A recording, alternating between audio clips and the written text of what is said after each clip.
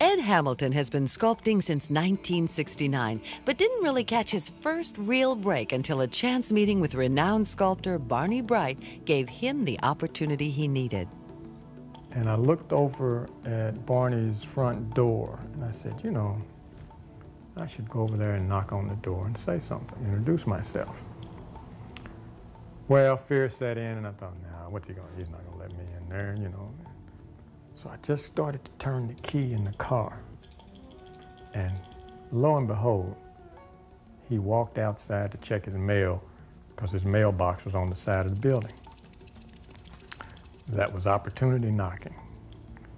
I immediately jumped out of the car, walked over there very carefully, and introduced myself to him and, and asked him, I don't know, remember um, verbatim what I said, but it was probably something to the effect, I'd really love to see your studio if possible, you know. he said, come on in, you know. I spent the whole day, the rest of the day in the studio, we just talking shop, talking art.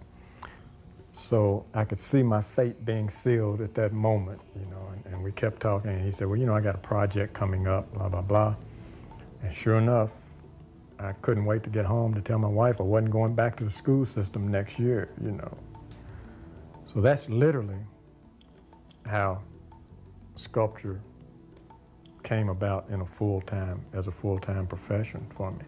Hamilton worked steadily, learning about the world of commissioned work and finding his own style in an art form where few succeed. One of his first big pieces was commissioned in 1983. I had a letter from Hampton University. It was actually Hampton Institute at that time they wanted to do a big Booker T. Washington memorial. And uh, I put a sketch together and a, a, life bust of him, and I got that, and that's kind of, and that started this whole public art thing.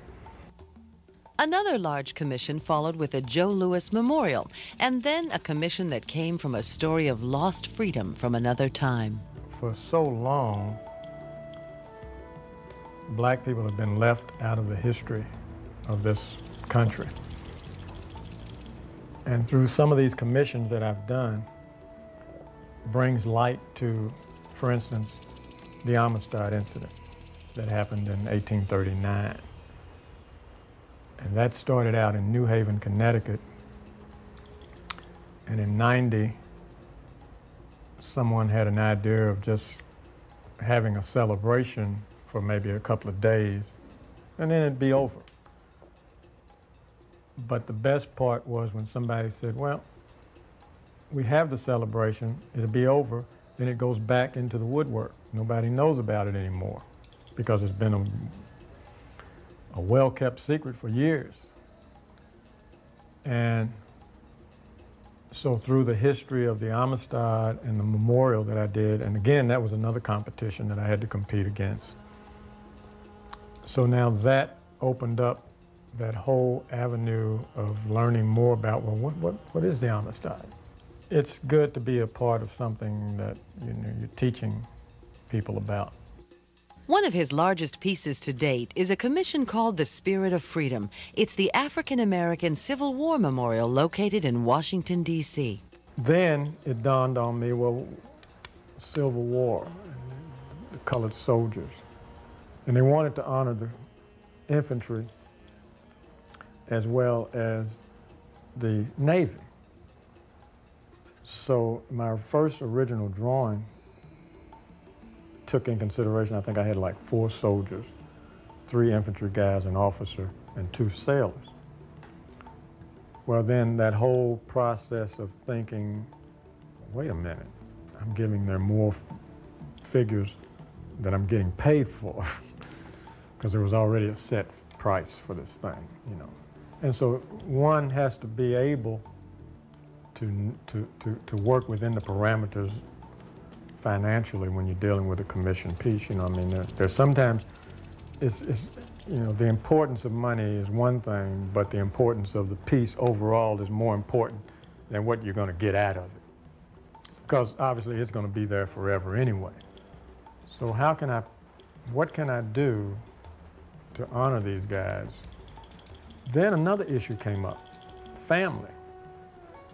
So I heard that in one of the meetings with uh, uh, one of the committees.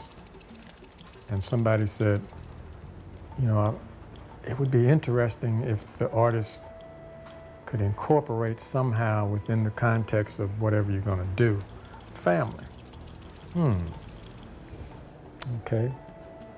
Well, once I arrived at the semi semicircular concept of three soldiers and one sailor, I cut it back, cut two out.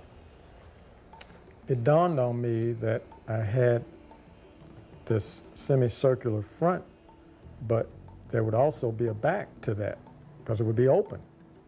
literally, it was the shape of a flag that was unfurling, okay? That was the, kind of the original concept. And so what I thought I would do would leave that backside void and just let the soldiers and the sailors be the primary, you know, looking, looking at.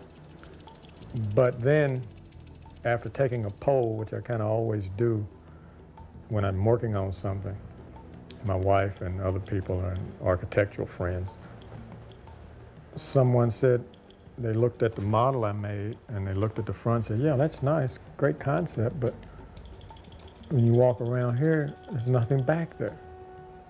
And then I got to thinking, you know what? The homeless would throw a blanket over top of this thing and somebody would actually live in there, you know? Well, I didn't want to do that. So, hmm, okay, and so I kept thinking, family, I? So that's when I modeled a little family concept within the concepts of the confines of that backside. And that's what really did it. So what that did was it brought to bear the aspect of the soldiers